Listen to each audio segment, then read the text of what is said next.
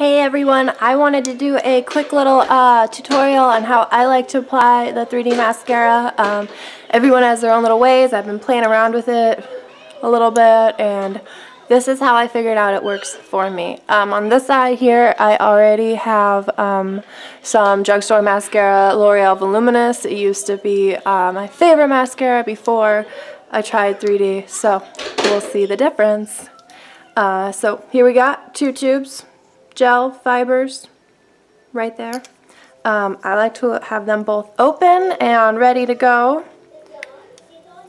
And then we start out with our first coat of gel, and this is going to be interesting. Yeah, I can't do that. Okay. So, got my uh, touch mirror here, so bear with me. So, first coat of gel, I like to try to get a really good coat on there.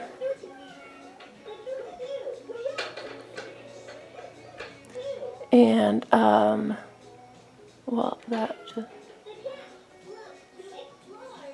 You want to make sure the gel is still wet before you apply, or when you go to apply the fibers, because then the gel is really going to stick to the fibers. So, got the gel on there. Now I get my fibers. I like to kind of uh, like wipe them off. You don't want a bunch of extra little hangers on there. Um, don't want that falling out. You can kind of squint your eye a little bit and that helps keep the fibers away from your eyes. I like to just kind of focus on the tips and the top parts. If you want it to get really uh, like thick volume, you are going to want to get it further down. Just be careful. Nobody wants to get the fibers in their eye. If you do, it doesn't hurt though. Alright, so typically want to wait like 30 seconds or so. So I like to do uh, like gel and then fibers on one eye and then gel and fibers on the other eye because then you kind of, uh, you want to let the first eye uh, the gel to dry and the fibers to adhere to the gel and that way you're not just wiping the fibers off when you go and apply the second coat of gel. Jacob's playing back there so we got to make this quick and see how long he can uh, entertain himself. Alright, so we got the gel and the fibers on this one eye. As you can see, I'm a messy mascara applier. Um, I already have mascara on the bottom. Let's go ahead and put the second coat of gel on. Super easy. It's just like regular old mascara. Now you want to make sure on the second coat of gel that you get a really good coat of it because you want to lock in all those fibers. If you don't lock in the fibers then you're going to start getting some on your, see I'm not even in the camera, I'm sorry, on your cheeks throughout the day. So if you get them on your cheeks, you just need to apply a little more gel afterwards. And then I kind of like to go down on the tops and then push them back up. Um, a question I get a lot from a lot of people is, do I curl my lashes? I do curl my lashes, but I really think that that's just your own personal preference of it. So I could sit here and fuss with my mascara all day long. Okay, we're gonna leave that at that. Okay. Um, can you guys see the difference? It's amazing. This eye has the 3D mascara on it. See? It's nice and thick and voluminous, voluminous, um, lots of length.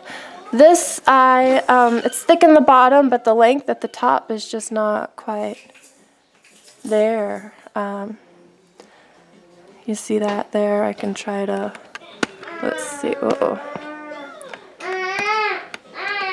Yeah, that's not gonna work. Okay. Look down for you, see if that's working at all. Um, you see the thickness differences? Look up.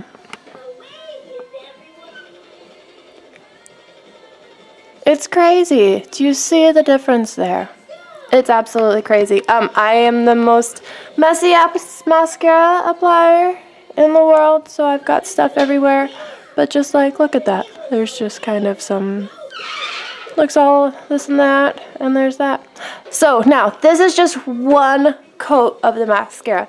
If you really want to get an extra little like uh, va va voom on the length, you can go in and do a second coat. So I'll show you what I do when I do a second coat. I just focus on the tips. So I just go in and you got my gel right here and just kind of gel the tips there.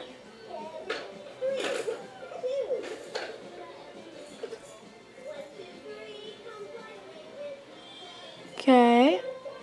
Now, I don't have my fibers ready.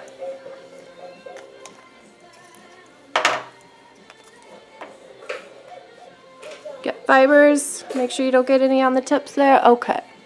Now, just focus on the tips. Go back through. And this is a nice, like, you're going out, you just want some really big, bold lashes. Uh, pictures. We all love to have amazing looking lashes in our family pictures. And um, so this is when you can kind of get like little clumpers, like right there. And I just kind of, uh, anything that looks like you've got a lot on there, wet a Q-tip. Or use a brush and just kind of, uh, see it just kind of brushes right off. Um, okay, we're letting the fibers dry. Hi, buddy. Okay, fibers are drying. Uh, now I'm going to put on the second coat of gel, hopefully before baby starts screaming. And then, yeah, once again, like squint your eyes, just apply it on the tips there. I like to do tops and bottoms, fronts and backs, whatever you want to say of your lashes. Um,